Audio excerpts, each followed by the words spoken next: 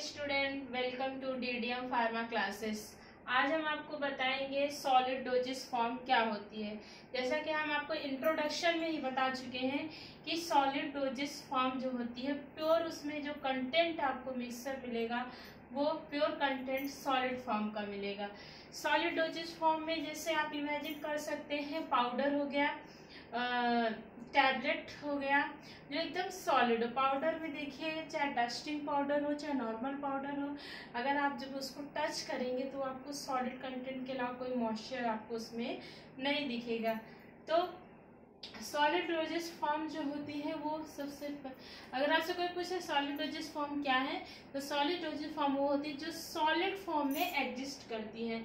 अगर हम solid drugs की देखें, जो मिक्सचर होके बनते हैं, उसमें हमारा पाउडर आ सकता है टैबलेट आ सकता है और कुछ हद तक कैप्सूल भी आ सकते हैं। अब पाउडर क्या होता है? पाउडर हमारा जो होता है फाइनली डिवाइडेड ड्राई कंटेंट होता है। पाउडर एकदम ड्राई कंटेंट होता है और बहुत छोटे छोटे अमाउंट्स में वो वो छोटे छोटे साइज़ में डिवाइडेड होते हैं, जिसकी वजह से उनका सरफेस एरिया ज़्यादा होता है और हमारे जीआरटी में जाके वो बहुत इजीली ही डाइजेस्ट बहुत इजीली वो एब्जॉर्ब हो जाते हैं। अब हम देखेंगे पाउडर क्या है। पाउडर हमारा होमोजीनस मिक्सचर होता है, जो फाइनली डिवाइडेड ड्राई पाउडर होता है। पाउडर में हम सबसे जो मेन डिस्कस करेंगे, जो जहाँ पर पाउडर का सबसे ज़्यादा यूज़ है या पाउडर फॉर्म का सबसे ज़्यादा यूज़ है, वो हम डिस्कस करेंगे टैबलेट के बारे में। सबसे इंपॉर्टेंट जो पार्ट्स हम डिस्कस करेंगे, या फार्मा इंडस्ट्री में सबसे जो इंपॉर्टेंट है सॉलिड डोजेस फॉर्म में, वो हमारा टैबलेट एंड कैप्सूल होता है। टैबलेट क्या होता है? टैबलेट पहली बार तो सॉलिड डोजेस फॉर्म है।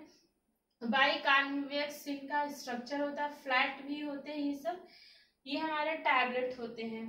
अब अगर हम टैबलेट की बात करें तो टैबलेट कई जैसे पैरासीटामॉल हो गया निमोस्लाइड हो गया इस सबको जब आप टच करेंगे तो ये कभी भी टच करने से ब्रेक नहीं होंगे तो ये हमारे क्या है? ये हमारे टैबलेट हैं।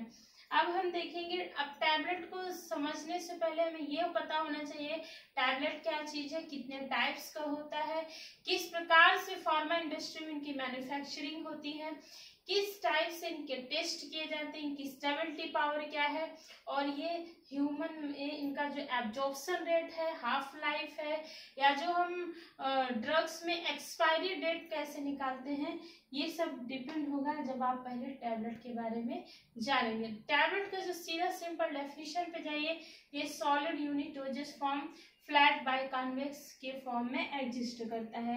अगर हम टाइप की बात करते हैं तो बहुत से टाइप के टैबलेट होते हैं।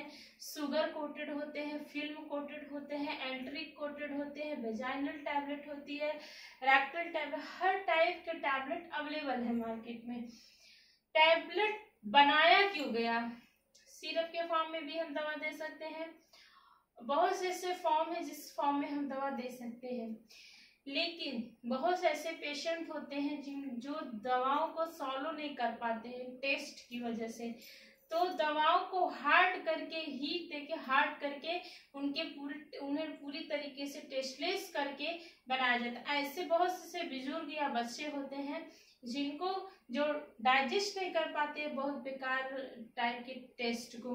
तो टेस्टलेस करके तो अगर हम कोई ड्रग बना रहे हैं, वो हमेशा टैबलेट के फॉर्म में ही एग्जिस्ट कर पाएगा। क्यों? क्योंकि उसमें हम एक फ्लेवर ऐड कर देंगे शुगर का। जो शुगर का अगर फ्लेवर ऐड हो जाता है तो कोई भी दवा, या तो टेस्टलेस बना दीजिए, या शुगर की कोटिंग कर दीजिए। अगर हम शुगर की कोटिंग कर देते हैं तो टैबलेट इजीली कोई भी इंसान सॉलो कर सकता है। अब टैबलेट में टैबलेट में जो एक मेडिसिन हम लोग प्रिपेयर करते हैं, जो एक ड्रग हम लोग प्रिपेयर करते हैं, टोटल मान लीजिए जैसे पैरासीटामॉल सिक्स फिफ्टी एम है तो वो पूरा सिक्स फिफ्टी एम का मेडिकामेंट मतलब मेन मेडिसिन थोड़ी ना पड़ा होता है कि जिससे वो इफ़ेक्ट करे बॉडी को। उसमें मेन कंटेंट केवल 200 150 एम के अप्रॉक्स पड़ा होगा, बाकी सब उसको वेट देने के लिए, उसको साइज़ देने के लिए अलग से हम उसमें मिक्सअप करते हैं। ये जो हम इंग्रेडिएंट इसमें यूज़ करते हैं, इसमें हमारा ग्लाइडेंट हो सकता है लुब्रिकेंट हो सकते हैं, और ग्लाइडेंट हो सकते हैं लुब्रिकेंट हो सकता है फ्लेवर होंगे कलर होंगे एंड डायमेंट्स होंगे बाइंडर होंगे। अगर हम ग्लाइडेंट अगर हम इनकी बात करें ग्लाइडेंट या डायमेंट की बात करें डायमेंट में जैसे लैक्टोज को यूज़ कर सकते हैं। लैक्टोज में जैसे पीपरमेंट वगैरह भी लैक्टोज है, इसको डालेंगे तो एक कूलिंग सेंसेशन हमें मिलेगा। लैक्टोज को कर सकते हैं बाइंड ऑफ़ ट्रैगाकैंथ हो गया। ट्रैगा मतलब जब हम सॉलिड को मिक्सअप करेंगे पाउडर फॉर्म को मिक्सअप करेंगे तो उसको हार्ड बनाने के लिए बाइंड करने के लिए हमें कोई इंग्रेडिएंट चाहिए। तो ट्रैगाकैंथ को आप डालिए या अकेसिया गम वगैरह डालेंगे तो सॉलिड के जो पाउडर वो सारे चिपक जाएँगे। इसी तरह उसको लुब्रिकेंट होते हैं, जैसे कार्बोक्सी मिथाइल सेलुलोज ये सब टाइप का यूज़ किया जा सकता है। इसी तरह टैबलेट जो होता है, उनके हार्डनेस को चेक किया जाता है मॉन्सेट्रो टेस्टर से। मॉन्सेट्रो टेस्टर डिवाइस होता है टैबलेट की स्टेबिलिटी को चेक करने के लिए, उसमें बीच में हम टैबलेट डालेंगे क्रश करेंगे।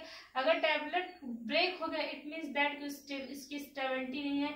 ऐसे टैबलेट को फार्मा इंडस्ट्री निरस्त कर दे, खरा, रद्द कर, पूरा बैच को बैच हटा देती है और इसी तरह से फार्मा इंडस्ट्री में लॉस और गेन होता रहता है। ये पूरी टैबलेट की इसी प्रकार से टैबलेट की बहुत सी हमारी स्टेबिलिटी भी है। और बहुत से ऐसे डिवाइस है जिससे हम इनकी स्टेबिलिटी को चेक करते हैं। फिर स्टेबिलिटी को चेक करने के बाद इनके ऊपर कोटिंग कर देते हैं। कोट करने के बाद उस, फिर फाइनली वो फार्मा इंडस्ट्रीज़ की सारी लैब टेस्टिंग होने के बाद पास होने के बाद वो मार्केट में आता है। ये तो हम आपको बता दिए सबसे मेन सॉलिड डाइजेस्ट फॉर्म के बारे में और उसमें सबसे इम्पोर्टेंट है टैबलेट कल हम आपको कैप्सूल के बारे में डिटेल से बताएँगे। Thank you